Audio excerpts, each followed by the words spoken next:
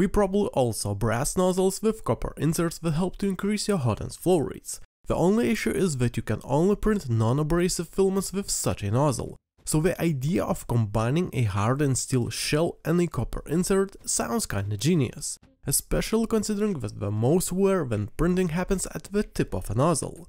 But is it actually genius or just plainly stupid?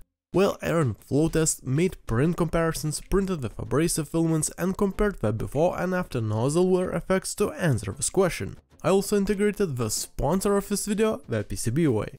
They offer multiple professional services like PCB manufacturing, CNC machining, laser cutting, 3D printing and more. And all of this is made with greatly visualized and explained options for as easy as possible ordering process. So make sure to check them out and also get 5 bucks off for your first purchase the link in the video description. Hardened steel nozzles are great as they are so much more resistant to wear, but steel has so much lower thermal conductivity compared to brass. That means two things. The lower when set temperature inside the nozzle and the part fan cooling temps even more. But these two are almost insignificant to the flow rate when we look at the thermal conductivity of the plastics, which is around 100 times lower compared to even hardened steel. That means that filament has to spend enough time in the hot end to heat up equally. That is also why you won't see a groundbreaking difference when comparing ceramic ring heaters versus regular ones. The filament itself will be the biggest limiting factor as the inside of it can heat up faster because of its insanely low heat transfer and the first one who overcome this obstacle was the Bondtech with their CHT nozzles. The same principle is used in all of these CHT clones by splitting the filament and heating it also from the inside.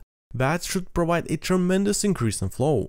I tested this CHT clone hardened steel nozzle on a new TZ2 hot end that Haldis3D sent for me to check out. It is basically an improved drop-in hot end for Bambu printers that has a replaceable nozzles and a more reinforced heat break. And as not that long ago I made a video about a stock Bambu hot end and how it can be used on any printer, this one seemed to be a perfect sequel to that topic of cost-effective hot ends. So let's start with the stock Bambu hot end. It has a max flow rate of 24 cubic millimeters per second with 5% under extrusion before extruder motor started skipping steps. Meanwhile, the TZ2 hot end with a regularly hardened steel nozzle performance was kinda surprising, it managed to achieve both same flow rates as the stock Bambu hot end but with only 3% under extrusion. But the king of these tests was the CHT clone nozzle that offered a 33% improvement in flow rate capping at 32 cubic millimeters per second with only 2% under extrusion before the extruder's motor started skipping steps.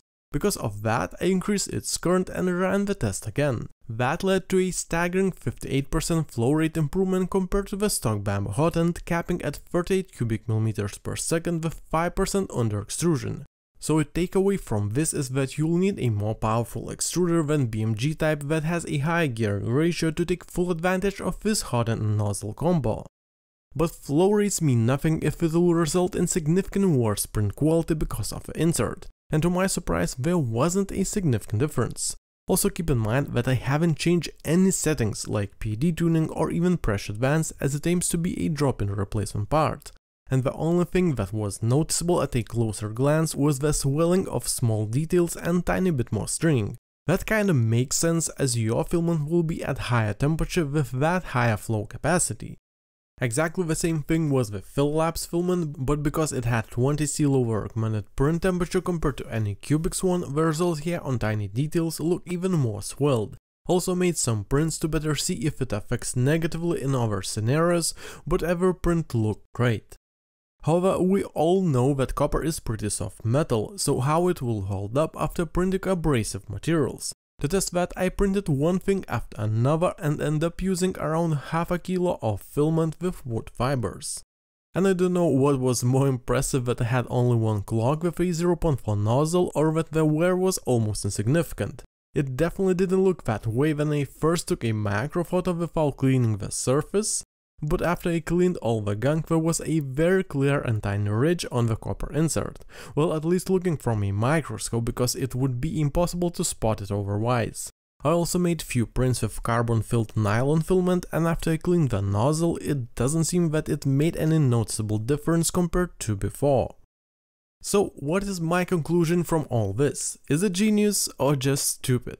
Well from what I saw from the test results I would say it is definitely more genius than stupid. If you print more non-abrasive materials and sometimes you want print abrasive ones without worrying that you will instantly damage the nozzle, this is actually a great and convenient choice plus it offers a significant increase in flow rate. Also talking about convenience, even the reinforced heat break makes things so much easier as it allows to use only one spanner to replace a nozzle. If you ever dealt with V6 type hotends, you know how annoying it is to fiddle with tools to change the nozzle but this seems to be even better option for Bambu printers as the only limiting factor for those machines is the hot ends performance. So being able just to make a drop-in replacement and print up to 475 compared to 300mm per second speeds at regular settings is such a huge boost.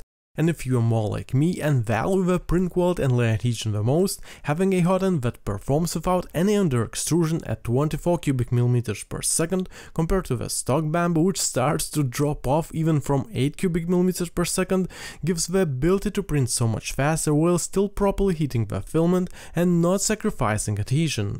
The only question that is always extremely hard to answer is longevity. It is obvious that the soft copper insert will wear out way faster if all you print is abrasive filaments, but for majority people who only on occasion print abrasives, I think durability will be more than enough. Plus, the price of it is very competitive even compared to the stock Bambu hotend.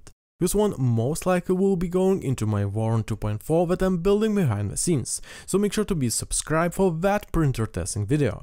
If you love the content and want to get more behind the scenes stuff plus support the channel, consider becoming a patron. Huge thanks to all people who supported or still supports my work, and huge thanks to people who like and follow the channel.